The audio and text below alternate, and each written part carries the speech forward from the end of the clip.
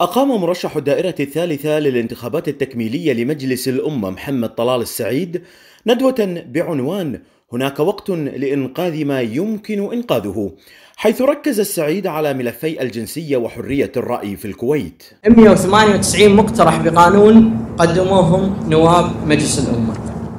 74 مشروع بقانون و528 مقترح برغبة هذا اللي قدموهم الإجمالي. اللي شاطر بالرياضيات يحسب 800 للتوتل. لما تجمعهم كلهم مع بعض 800 مقترح بقانون ومشروع بقانون ومقترح برغبه قدموهم النواب اللي يقر منهم 26 بس. الآن هل أنت يا محمد سوبرمان بتقر ال 800 هذه كلها؟ طبيعي لا.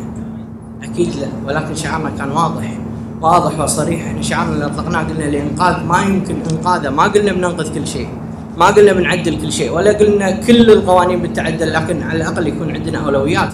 أي واحد يقول لك بقدم وعندي برنامج وعندي قوانين وبصلح وأسوي جيل وبعدل دستور هذا يكذب عليكم ولا يحترم عقل أي واحد قاعد لأنه لو اليوم ينجح ويقدم القانون باكر ست سنين يلا يوصل الدور.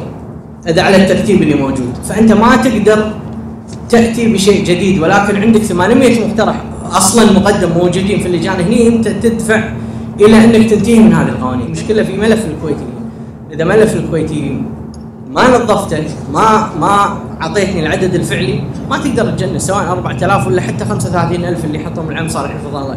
خلينا نتكلم منطق إحنا اليوم الكويت ديره خير ونعمة جنسيتنا وهذا والله العظيم أعيد وأكرر إن ما نضد أحد ولكن إحنا قاعد نحكم العقل أول شيء. إحنا ككويت هذه بلدنا إحنا أولى فيه بخيراتنا هو في كل شيء. فلازم إحنا ككويتيين نستفيد أول شيء ننظف هذا الملف. ننعم بخيرات وطننا وهذا المفترض أن ننعم بخيرات وطننا والدستور كفلنا هذا الشيء. وبعدها ننتقل للكل عرب بدون ايا كان في الكويت يستحق التجنيس يجنس. هذه القوانين كلها المكبل الحريات هذه لازم تتغير هذه حياتنا اليومية. يا أخوان وأنا حاكي الامهات اللي حاضرين الله يحفظهم. لو واحد من عيالهم يندمج بمباراة بس يندمج بين دولتين شقيقتين خليجيتين ويقول أي شيء يزل لسانه. أقل شيء ترى يروح سجن سبع سنين.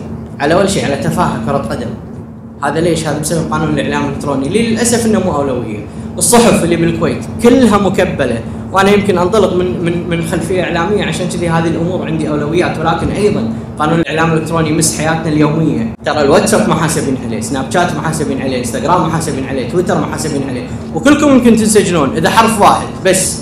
مسيتوا فيه هذا مو أولوية هذا أولوية يعدل. إحنا إحنا بالكويت إحنا بلد حريات إحنا بلد متعودين ننتقد من نشاء بالقانون.